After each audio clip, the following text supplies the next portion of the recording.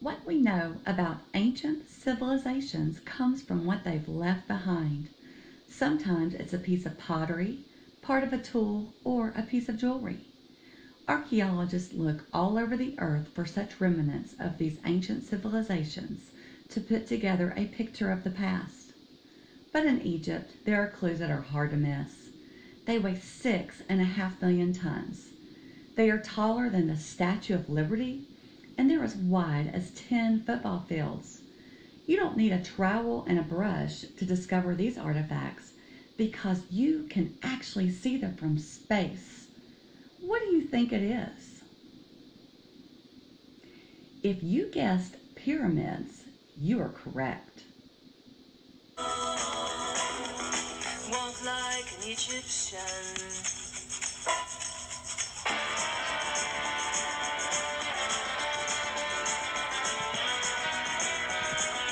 Hello, my name is King Tutankhamun. I'm also known as King Tut. At the age of nine, I became an Egyptian pharaoh when my father died. That was in 1333 BC. But unfortunately, I was only ruler for 10 years and met an untimely death myself. Today, I'd like to take you on a journey of my tomb. We believed in the life after death, so everything needed for the afterlife was buried with me in a place called a tomb. My tomb was located in a pyramid in Egypt, in a place called the Valley of the Kings. I will be your tour guide for today. First, I'd like to introduce you to Howard Carter. He's the man on the left, and he's the archaeologist that discovered King Tut's tomb in 1922. Over to the right is Lord Carnarvon. He's a gentleman that financed the archaeologist's work of Howard Carter. They are actually standing in front of King Tut's burial chamber in this picture. The ancient Egyptians did not want anyone to enter the tomb, so once it was closed after the death, they concealed it extremely well. This is a map of the tomb that held the body of King Tut. Today, we are going to take a virtual look into each room. First, there were 16 steps that led to a long passageway with a completely sealed door at the end of the hall. The antechamber is the largest room and the first room of the tomb. This chamber contained many treasures like carved chairs, beds, chariots, and Tut's famous golden throne. This room was left almost untouched. It's assumed that tomb robbers had broken in more than once because everything was unorganized. They said that tomb robbers thrashed about the chariots in search of gold.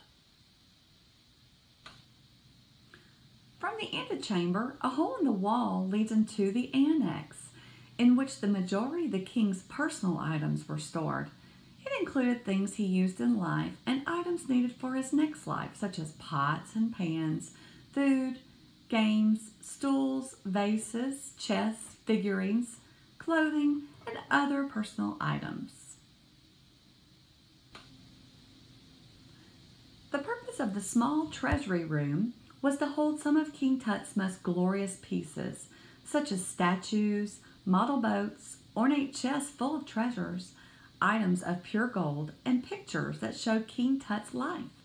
A little further down to the room was a large shrine that contained the organs of the pharaoh. Anubis was placed in the front of the room to protect those items for the king's afterlife.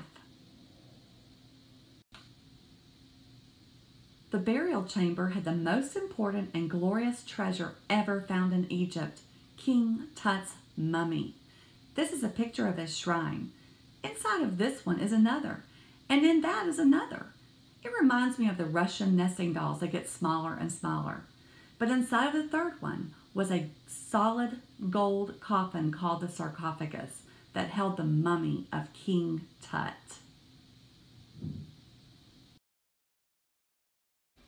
Well, hello there. You are looking at the golden coffin of King Tut, and that's Howard Carter gently cleaning it.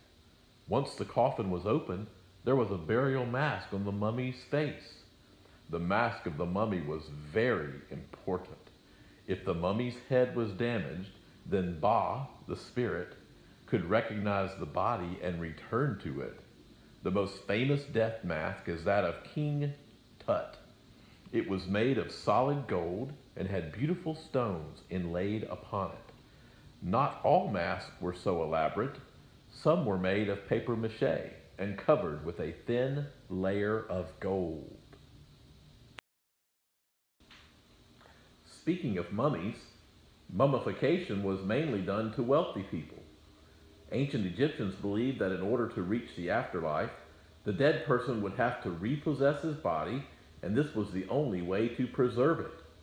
It's kind of gross and a bit strange, but they first pushed a hook through the nose and pulled out the brain and threw it away. Then a cut was made on the left side of the tummy in order to remove all internal organs. The lungs, intestines, stomach, and liver were each placed in canopic jars and eventually buried with the mummy. The corpse was stuffed, cleaned, covered with salt, and left to dry for 70 days. Then it was wrapped in linen and placed into the sarcophagus and taken to its final resting place, the tomb. I hope you've enjoyed learning about the ancient Egyptians, King Tut, and mummification. I'd like to thank these websites for their information and photos that were used in this presentation.